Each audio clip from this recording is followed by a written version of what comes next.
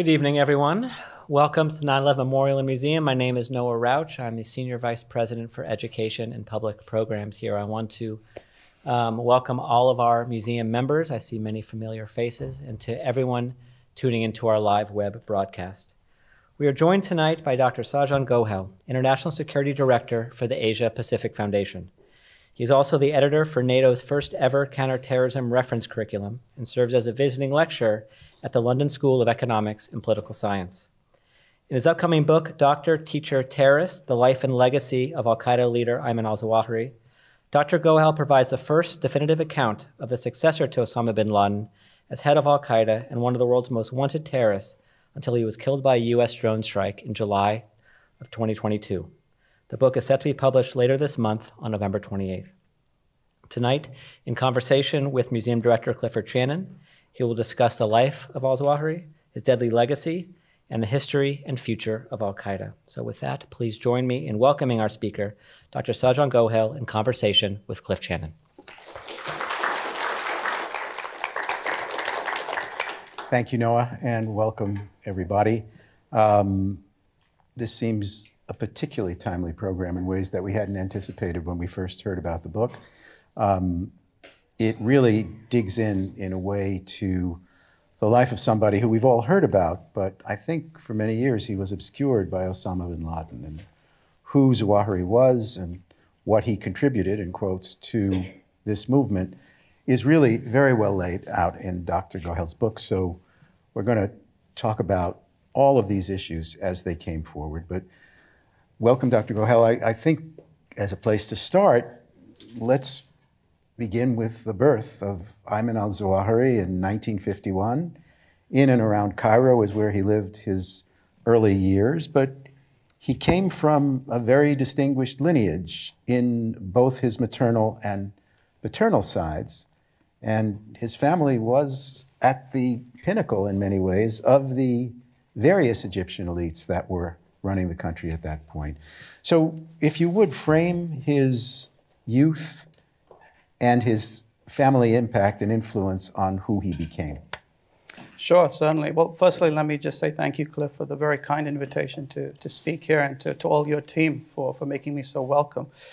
So, Ayman al Zawahiri has a very interesting background, as you were uh, alluding to. This is somebody who comes from an elite background, not just on one side of his family, but both sides his maternal side, his paternal side.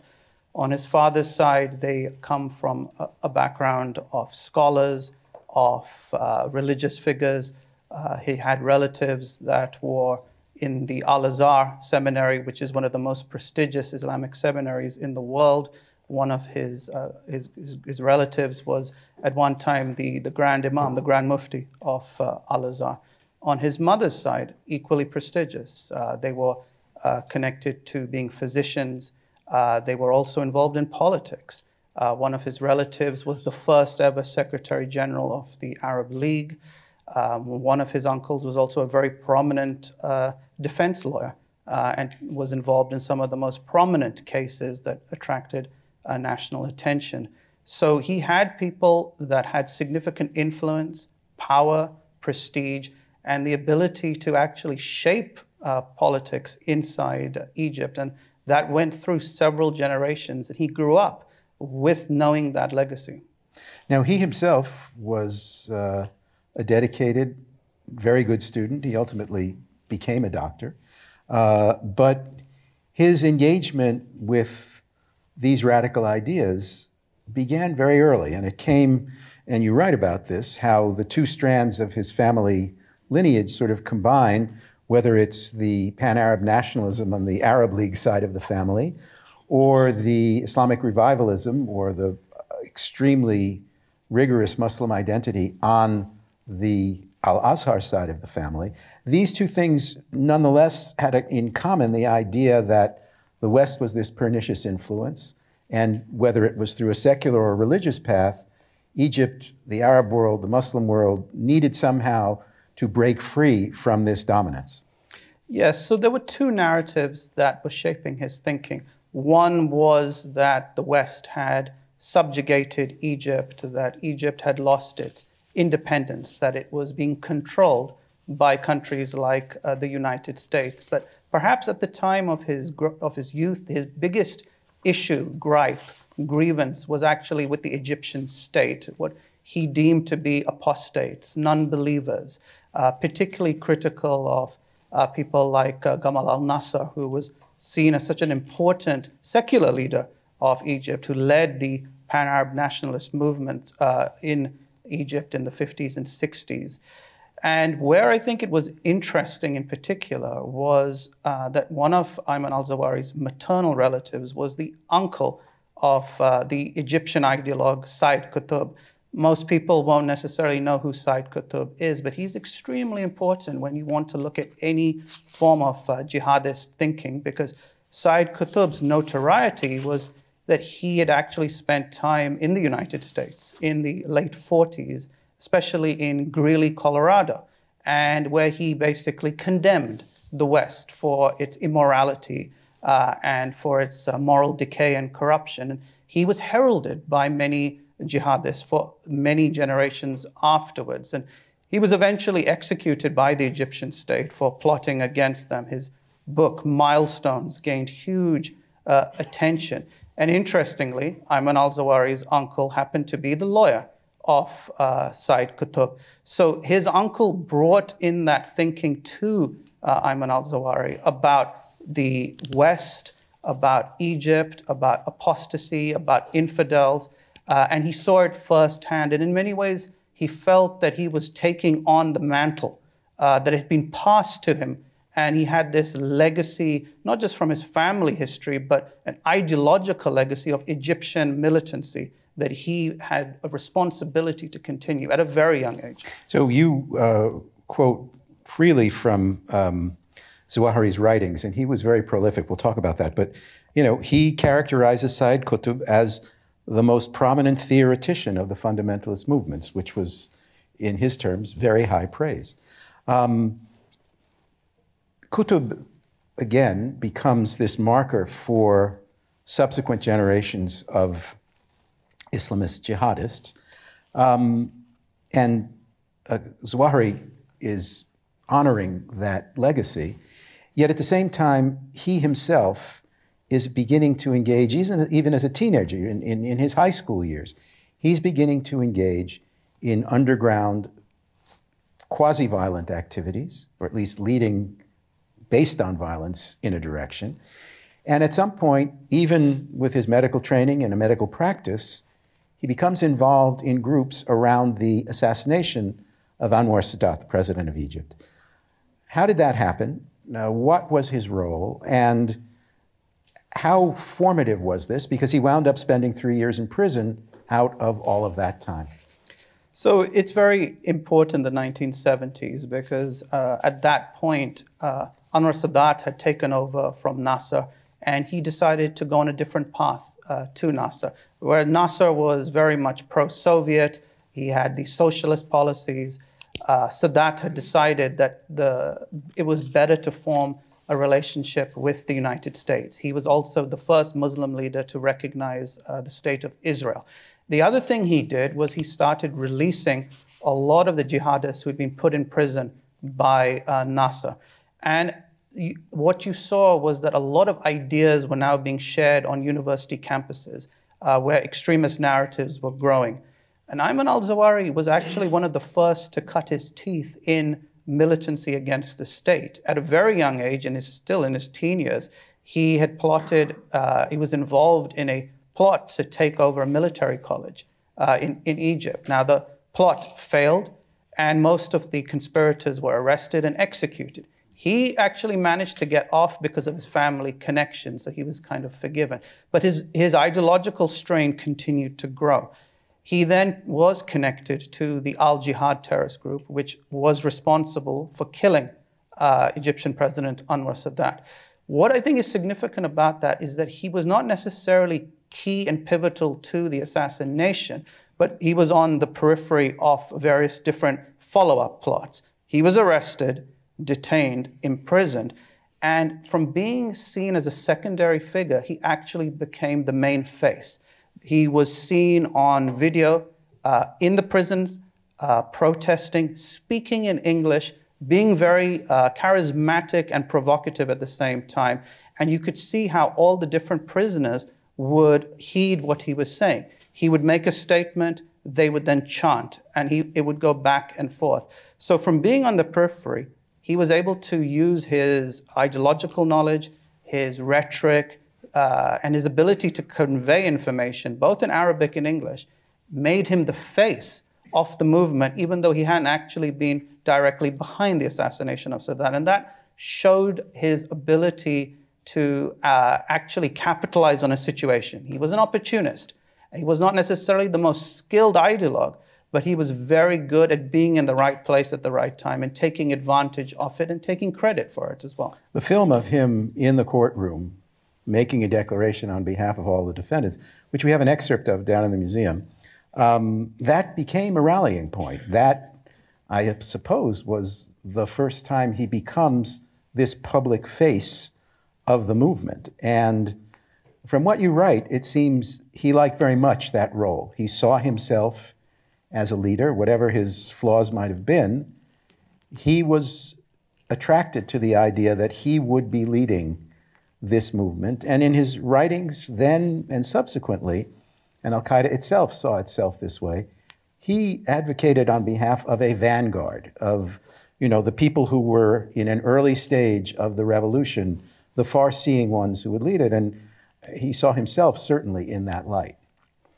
Very much so. And as you say, he, he, he enjoyed it, uh, he, he reveled in it. It was something that he saw as his opportunity to take the Egyptian uh, jihadist movement forward under the guise that he wanted to present.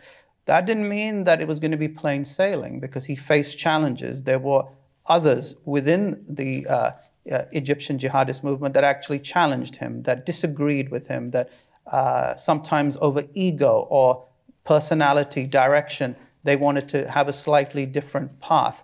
Uh, but he wasn't willing to give up. He was very determined that he would then be the individual to take the legacy on from Said Qutb. He goes in the mid 80s to uh, Pakistan, Afghanistan, in terms of the ongoing war between the Afghans and the Soviets.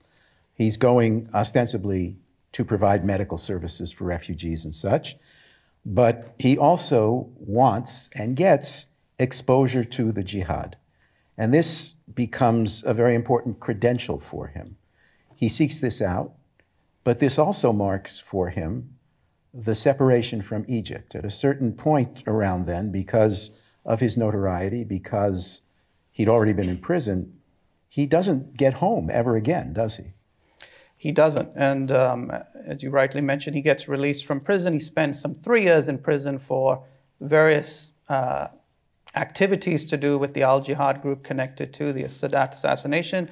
Egypt releases him. They release a lot of people in the hope that they will just disappear into obscurity somewhere. And they think, okay, it's a good idea. If they want to go to Afghanistan, Pakistan, let them go they'll probably die in their battle against the, the Soviets. And for him, this was now a very important opportunity to further get his message out because Afghanistan and Pakistan had become the center now for various different individuals from around the Islamic world congregating to fight against the uh, Soviets uh, who were occupying Afghanistan. And Ayman al Zawahiri felt that this could be a great opportunity to get his Egyptian agenda out there to get potential supporters. He wasn't necessarily fighting on the front line against the Soviets. He was again being more tactical and strategic. His goal was to actually get people to rally to his cause, to get benefactors, supporters, individuals that would actually provide the backing that he needed to get his Egyptian project off the ground. And of course, one person in particular that was of most importance that would provide a relationship of real consequence was he came into contact with Osama bin Laden. So they meet in the Afghan theater um, in this mid late 80s period. Um, they have not identical, but they both have visions of this global movement. They have some differences, and here the question of the near enemy versus the far enemy becomes paramount. At that point, Zawahiri is still focused on Egypt. He's not, bin Laden has this vision of the, U- the US and the Western powers manipulating these apostate rulers.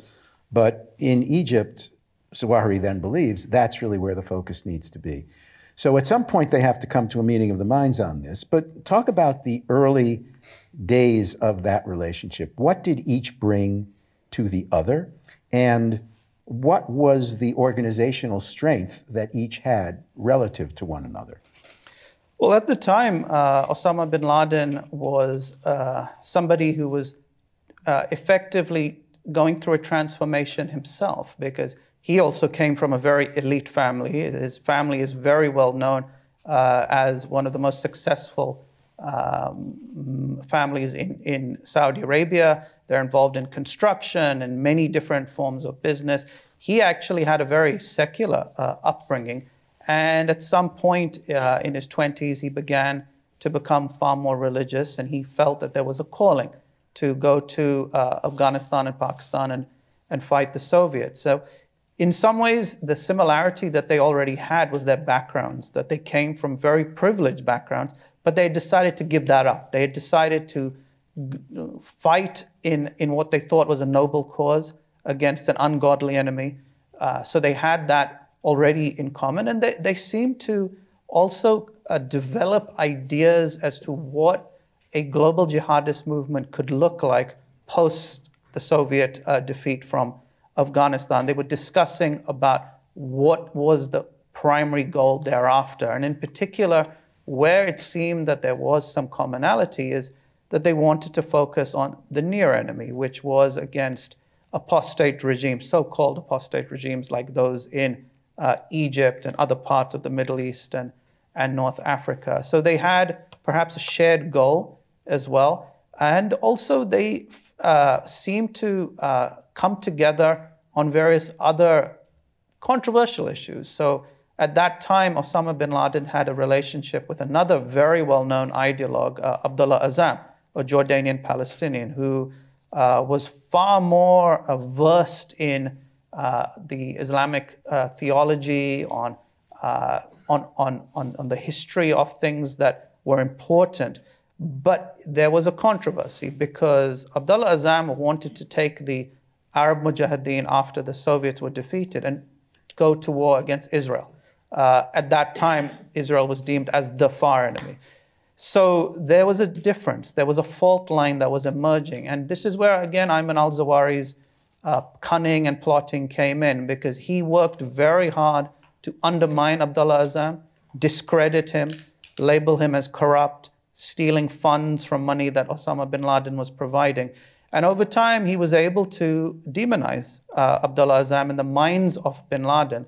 Mysteriously, then Abdullah Azzam dies, and it leaves open the project for bin Laden and Ayman al Zawahiri to continue. So you say mysteriously, but in the book, you enter into this idea that he was involved in the assassination of Abdullah Azzam. So tell us a little bit about that, because you also note that he had roles in a, a number of assassinations. This was something that he served very well his cause by organizing?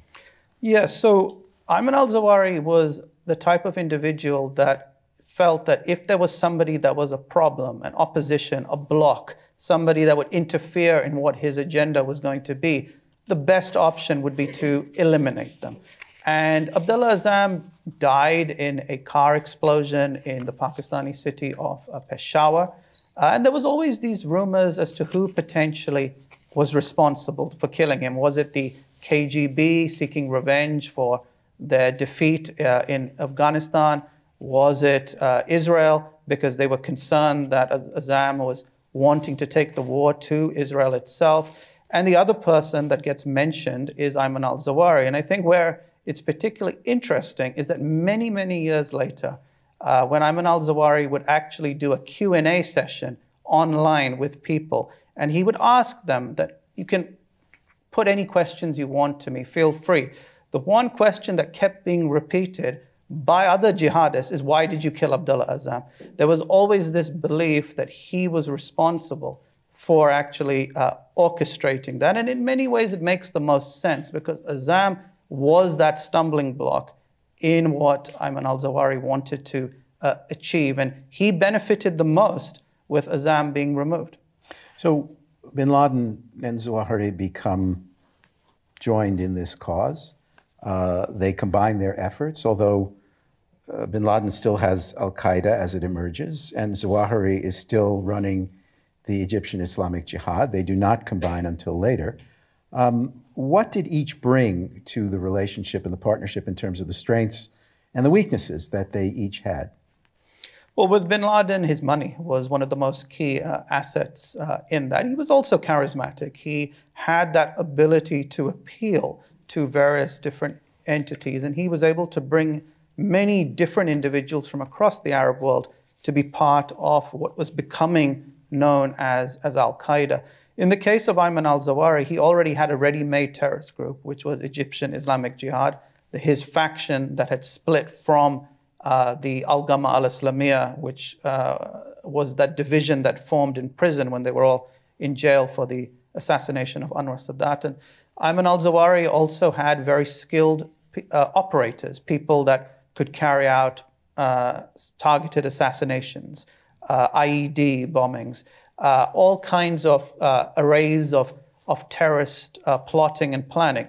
So you had charisma and money from uh, bin Laden's side, and you had the operational capabilities from uh, Ayman al Zawahiri's side. And those two uh, worked in tandem in many ways. They would collaborate um, on, on various plots targeting US troops that were briefly stationed in Yemen, the targeting of US troops uh, in, in Somalia.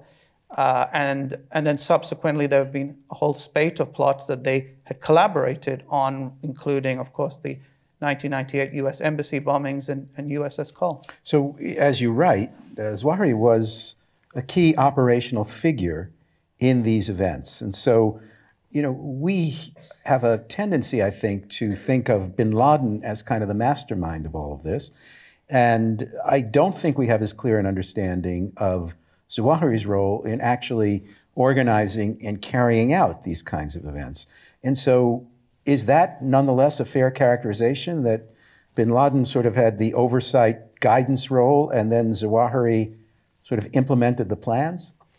It was in many ways exactly that. Uh, very often we will see that Osama bin Laden gets the most attention. He was the head of Al Qaeda, he was the face uh, of Al Qaeda, but there were many different cogs involved in terms of plotting and planning. And often, Ayman al Zawahiri would be the one that would do the actual specific delegating of tasks. He was very good at finding the, the right people to do very bad things uh, including the bombings, including the assassinations.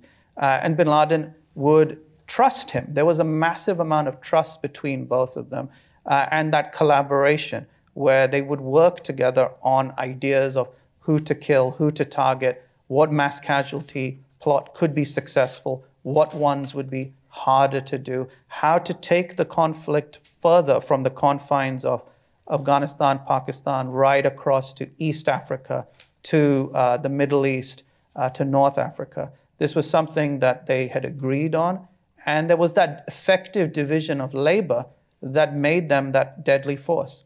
So tell us a little about the sourcing for this, because you really do go into great detail about his movements, but also his thinking and the emergence of his view of the world. Now, as I said before, he was a very prolific writer.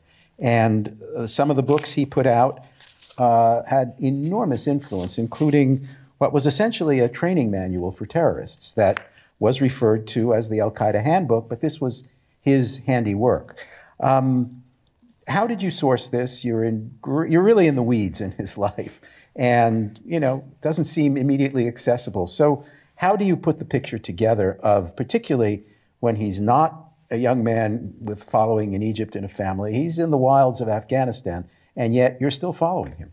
So, interesting question. It was uh, challenging. Uh, this wasn't a book I could uh, say I produced overnight. It took it took well over a decade uh, to put different pieces together, and it was very much a stop-start affair because I couldn't always get the information I wanted to. It took a huge amount of pursuing people and uh, uh, who were engaged specifically in counterterrorism, whose job it was to monitor Al Qaeda, that had bits of information that were very important when it came to specific operational uh, plotting and planning. And very often they wouldn't want to have that conversation. Uh, but uh, one thing I learned is uh, be persistent and be polite whilst you're being persistent. So if and when you get that opportunity, hopefully that person will warm to you and, and be more uh, engaging. And that was one thing that I needed because yes, Ayman al Zawahiri was very prolific in writing. So you already had what he was saying.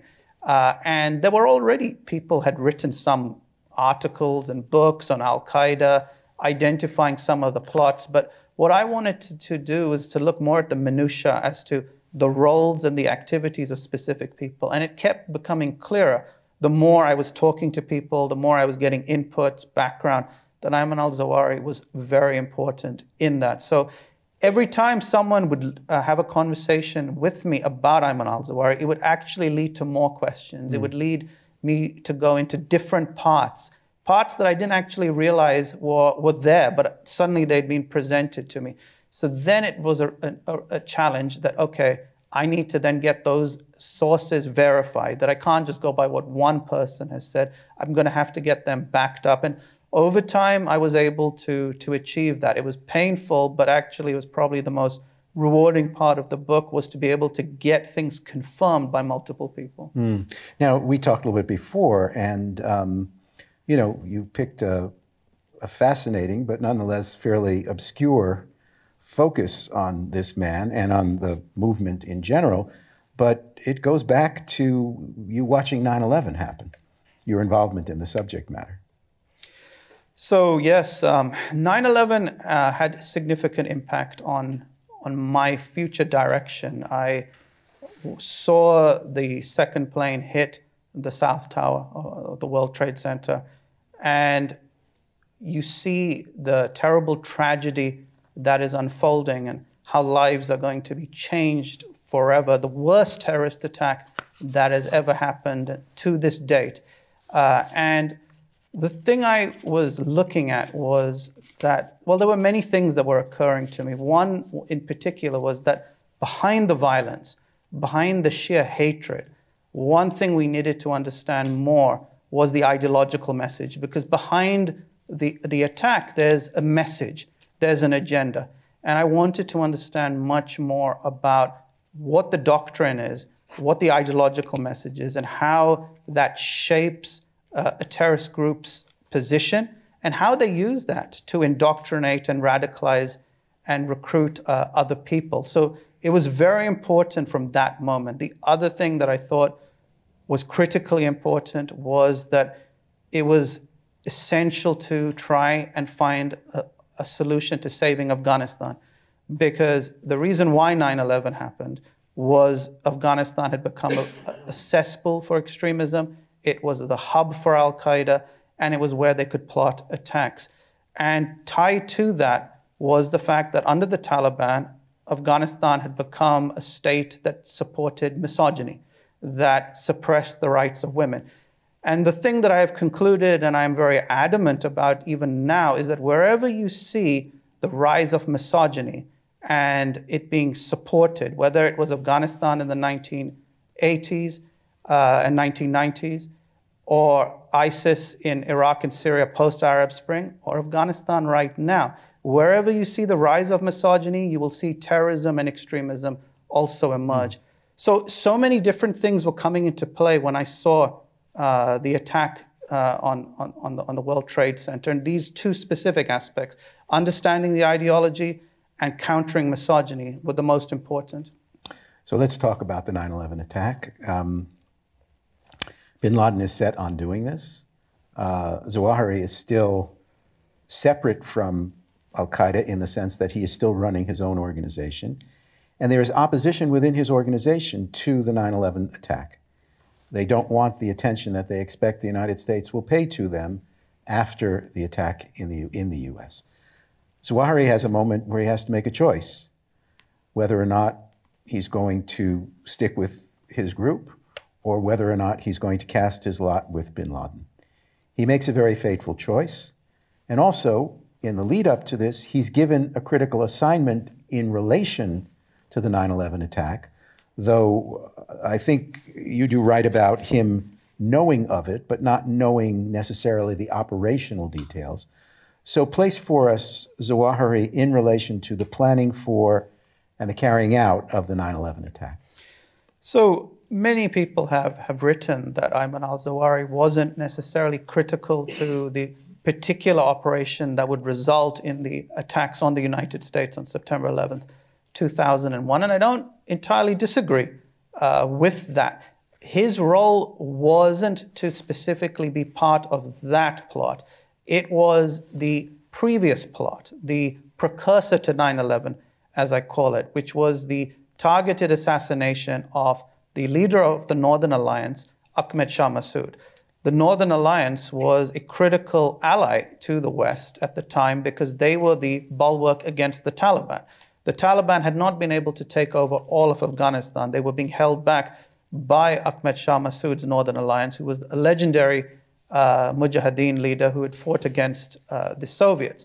So the thinking was that in order for 9 11 to be successful, you had to eliminate one of the key allies of the West in Afghanistan, because that would then, in theory for Al Qaeda, result in the collapse of the Northern Alliance, and it would make the American ability to carry out a response much harder because they would have no allies on the ground. So Ayman al Zawahiri was specifically tasked by bin Laden a year before 9 11 to start plotting the attack.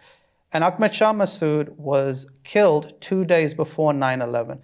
In my uh, humble opinion, I don't think 9 11 could have happened if Ahmed Shah Massoud had not been assassinated. He was absolutely essential to the Al Qaeda plot. And as much as we talk about 9 11, I think we also need to talk about 9 9. And the other thing is, as you mentioned, 9 9 was the assassination of right, Massoud. 9 9 was the assassination of Massoud. And the, the other thing you mentioned was the challenges that Zawahiri faced internally, because many people within his own Egyptian uh, faction were against the 9 11 attacks because they had no problem in targeting the US in, say, Kenya and Tanzania with the 1998 embassy bombings or the USS Cole off the, the, the coast of Yemen. There was no uh, love for America, there was strong hatred. But the argument that they had was that if you target the US mainland, they will come to Afghanistan. We will lose our operational base, we will lose our central command. Right now, everything is good. You can still carry out attacks against the West in the Middle East, in Asia, and Africa, and you won't be uh, targeted. But if you specifically go after the US, it changes the dynamics completely. And Ayman al Zawahiri was in a dilemma because, on the one hand, he had to be responsible to his Egyptian cadre. On the other hand, he had to be very loyal to Osama bin Laden because of that very long standing relationship. And ultimately, fatefully, as you mentioned, he decided to side with uh, bin Laden, which actually did result in some fault lines which, uh, with his other Egyptian uh, faction. They were, some of them went off on their own and in their own sort of, I guess, with his blessing to go off and do whatever they would do. Um, pick up now the American response. They are, uh, Al Qaeda is wrong about the collapse of the Northern Alliance. The Northern Alliance is bolstered by the U.S. intelligence and military, and then the military comes in. Uh, by the end of the year, bin Laden and Zawahiri are trapped in the Tora Bora Mountains. We all know this story.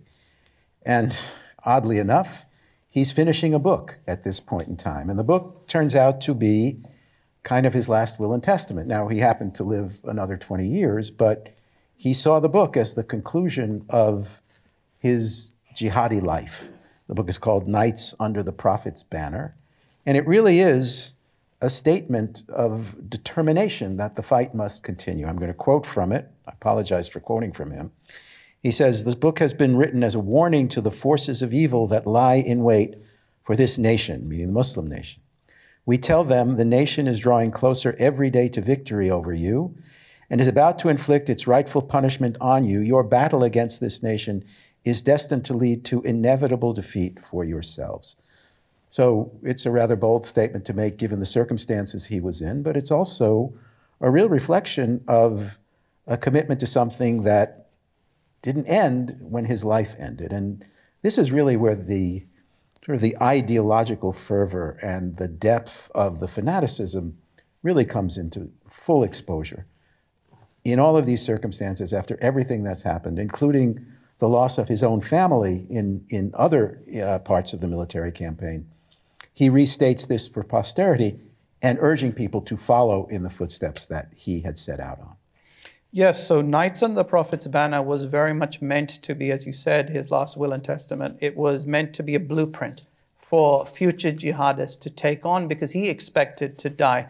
He had already lost one of his wives, several of his children uh, with the US bombing campaign, which ultimately was the consequence of him supporting uh, Osama bin Laden. And what he wanted was to lay out a plan which was to guide individuals to not give up targeting the West. So even though he had that reluctance uh, in the 9 11 uh, operation, he had felt that now that Al Qaeda had committed itself to targeting the US, it could not give up that idea. It would have to continue to uh, pursue it. And he spoke about various things that needed to be demonstrated. So, one thing was getting the narrative out, controlling the media, being able to get the narrative of what Al Qaeda wanted to say unhindered and unfiltered, uh, because it was very important to communicate to audiences very specific messaging. The other thing was also for individuals to uh, grow and develop their own infrastructure, their own cadres, their own funding streams, their own ability uh, to operate. Uh, and the one thing that he constantly wanted to sort of have as an underlying factor was the Egyptian history of jihadism, that that had to be the source of, the, of what they needed to all follow. Track him for us. We know they get out of the Tora Bora Mountains. Uh, they go their separate ways, bin Laden and Zawahiri, in part as an operational matter so that the leadership of the organization would not be found in the same place follow bin, uh, we've, we have followed in other contexts bin Laden. Follow Zawahiri for us. Where does he go? His, his security uh, procedures seemed even more stringent than bin Laden's over time. He was the longest surviving of any of them. Uh, what happens? Where does he go? How does he live? Uh, what are his preoccupations in this hidden life? What's really interesting about that is that we know he ends up in Pakistan with all the Al Qaeda leadership, but there are differences in where they end up.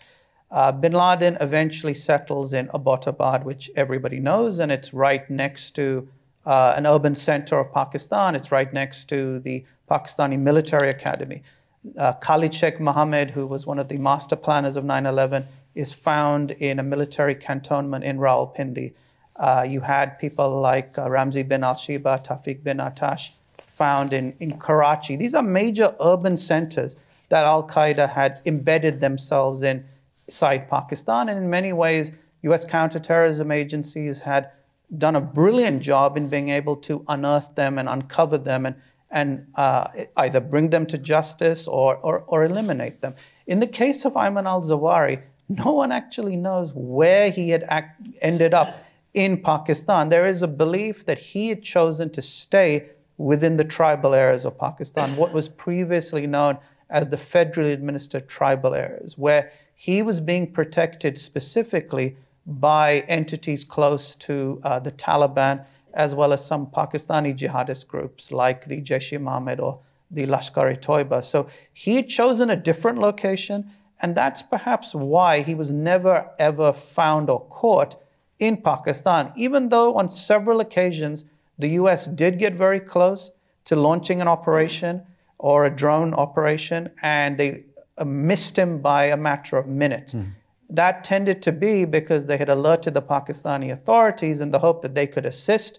And then, uh, perhaps unsurprisingly, uh, Zawahiri gets the tip off by the same people that are supposed to be helping the US and he escapes. Well, this is one of the subtexts in your book, is uh, particularly in this post 9 11 period where the US and Pakistan are supposed to be allies in the fight. Uh, but the Pakistanis, acting out of their own interests and a good deal of cultivation of various jihadi groups, are at the very least playing a double game, if even that much. I think one of the, the biggest mistakes uh, post 9 11 was for the Bush administration to trust the Pakistani military leadership of General Pervez Musharraf to be the solution, whereas in many ways they were part of the problem. Remember that pre 9 11, there were only three countries that recognized uh, the Taliban regime in Afghanistan, and one of them was Pakistan. Pakistan's uh, goal at the time had been to uh, create strategic depth in Afghanistan to prevent the Pashtun nationalist movement. It also used it as, as an opportunity to create further tensions in uh, Indian administered Kashmir with the insurgency uh, there. So Pakistan had these very murky ties with various jihadist and terrorist groups. And many of those, in turn, had those strong relationships with, uh, uh with, with Al Qaeda. Now, the biggest indictment of that whole approach, if you think about it, was where was Osama bin Laden found? He was found in Abbottabad, uh, not somewhere in the, in the middle of the tribal areas. He was literally a stone's throw from Pakistan's military academy, as we were just discussing. So, unfortunately, the Pakistani military has played a double game throughout the war on terrorism, where they took a lot of money from, from the US, they said the right things, and then they did what they wanted uh, afterwards. And that was something that uh, Pervez Musharraf's uh, legacy ultimately will be. And even the subsequent generals and civilian leaders of Pakistan uh, haven't been very genuine in their commitment. They will talk about their sacrifices and how many people they may have lost, but it's all very uh, cleverly articulated because the people they lost in the war on terrorism tended to be uh, against the entities that they had actually provoked in the first place. Mm. Mm. So uh, bin Laden is in hiding and they are separate. And as you describe it, Zawahiri becomes the de facto leader of Al Qaeda. The plots that emanate from Al Qaeda, the London bombing, a number of other incidents, are actually organized out of Zawahiri's world rather than bin Laden's. So at this point, we get to see what really the capacities are and what he is able to, uh, to mobilize in pursuit of his goal.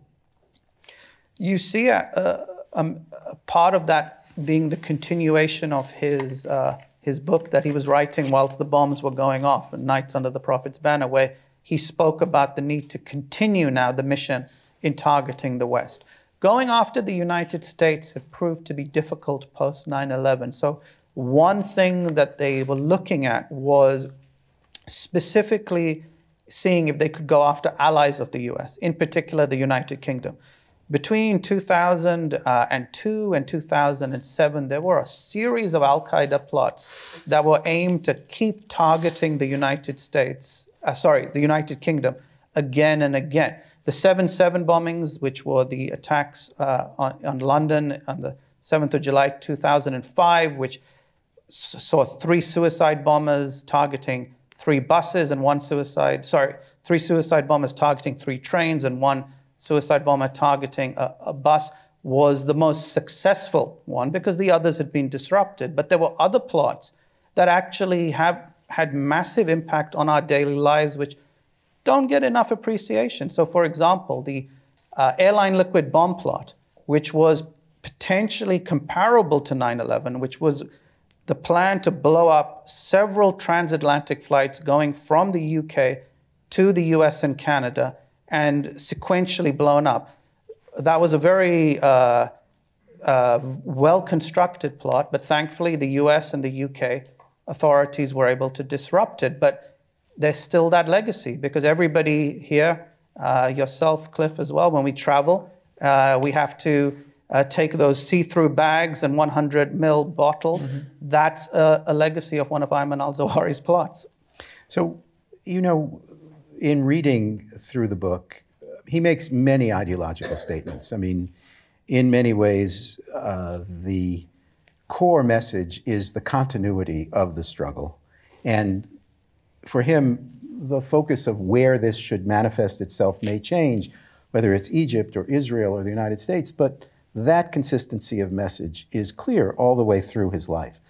And I'm moving ahead to the current moment because we talked about this. I mean, you think about Hamas and its ideology. Now, Hamas is very much in a self declared struggle against Israel, and we saw what happened on October 7th, but their ideology is very similar to the kinds of things that Zawahiri and other of the jihadi theologians and philosophers have, have put forward over the years. And I wonder if you could draw out the comparisons or the differences between the ideological statements that these organizations make and the motivations that they have to continue no matter what, including the sacrifice of many of their own people.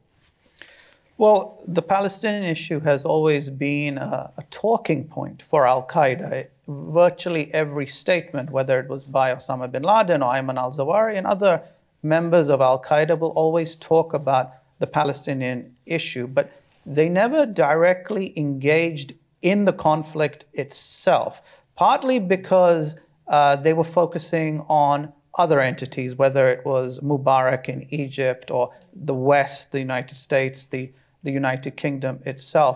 There were some ideological similarities between Hamas and, and Al Qaeda, even though Hamas has never been affiliated with Al Qaeda. Its uh, operations, perhaps, its tactics, its strategies, does have those eerie similarities. There are uh, a historically ideological connection in the sense that Hamas originates from the uh, Palestinian Muslim Brotherhood, uh, where and Ayman al Zawahiri's Egyptian Islamic Jihad originates uh, from a tangential way from the uh, Egyptian Muslim Brotherhood, even though he disavowed the Brotherhood, he's criticized them for wanting to go into mainstream politics. Uh, he has not uh, been very praiseworthy of them.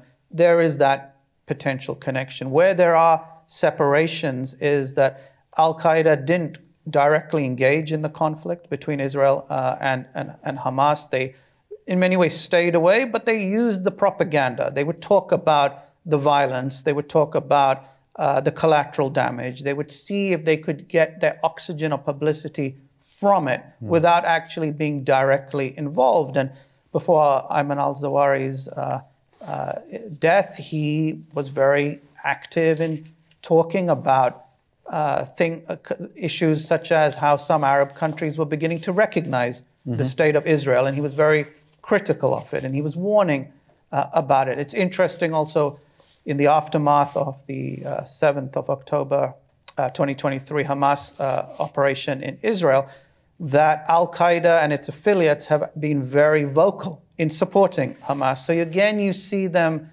trying to take advantage of the situation, hoping to gain mileage from it. So we're going to turn over a couple of questions in the audience in a moment, but I want to get to, and if I can call it this, Zawahiri's legacy, because you do attribute certain of the policies, and I would call them insights of the jihadist movement more generally, to initiatives he took. And I'll list a number of them, you can add them, but just to sort of summarize why he had the impact he had. His recognition early on on the importance of whatever the latest communications technology was to spread the message. So you start speaking about fax, which seems antediluvian, but you know, you go from faxes to VHS to audio tapes to the internet and all of these things, and he was riding that wave as a way of getting the message out. You talk also about the importance he saw in having a freestanding base, Afghanistan being the best example, but a place where the jihadi groups could be in relative safety they could plan their, their, their attacks. They could train cadres of people. And this was also something that was important to him.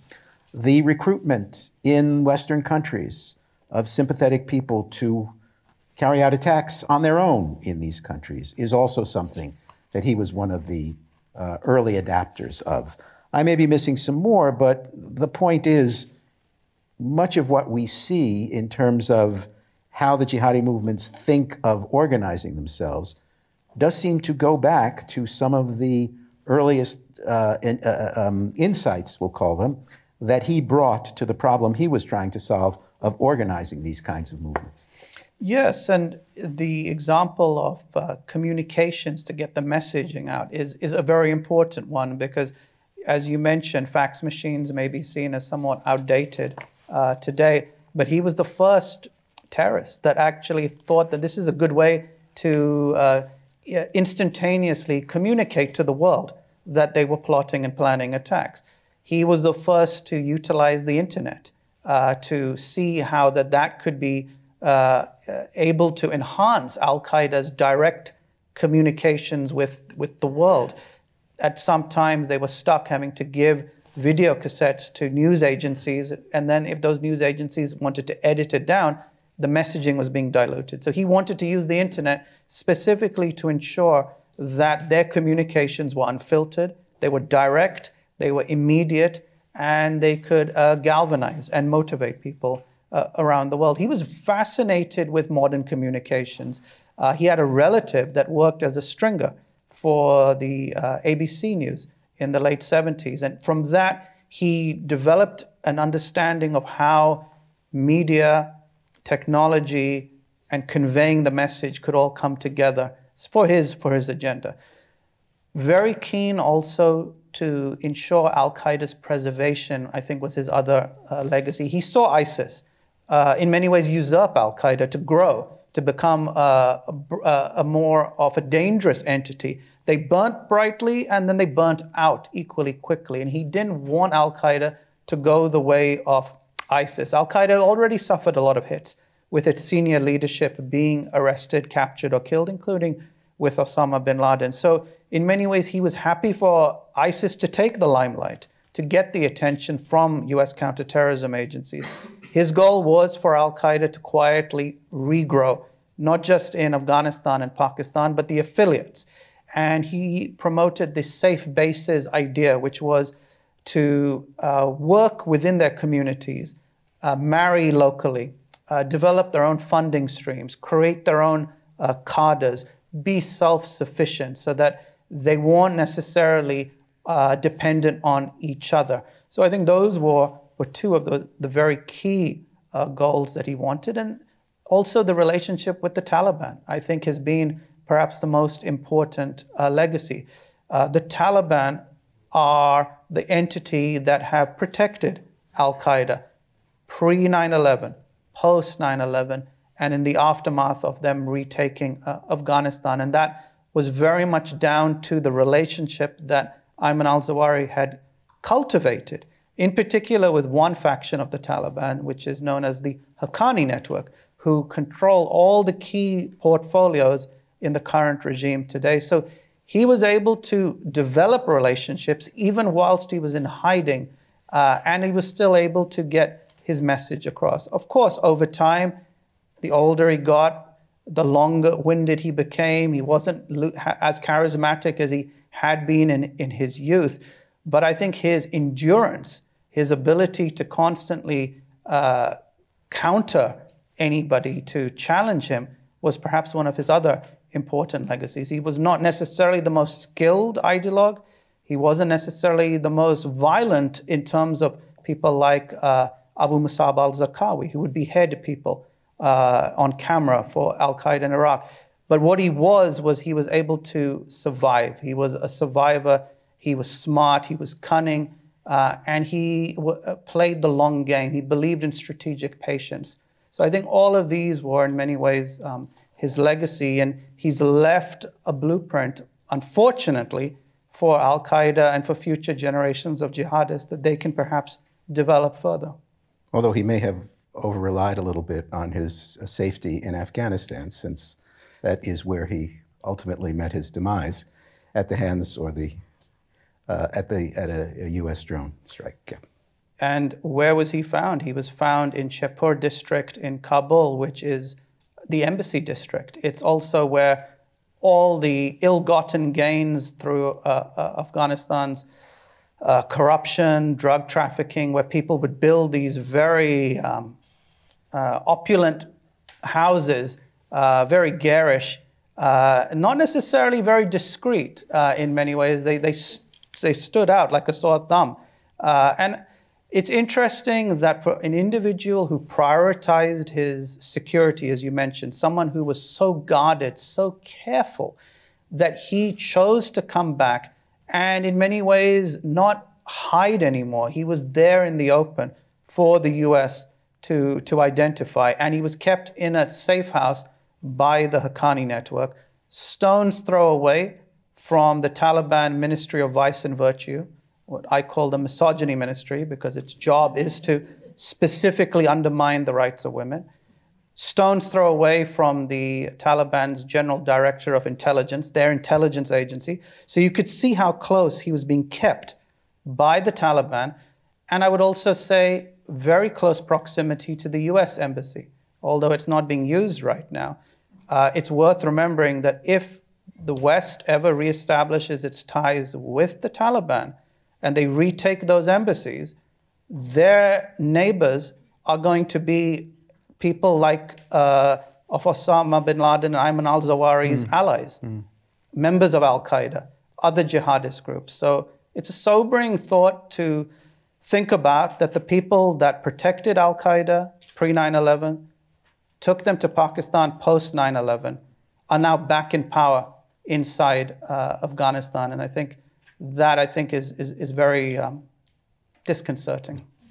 Let's see if we can get a question or two from our audience. Please raise your hand and uh, wait for a microphone. The gentleman here, your mic is coming.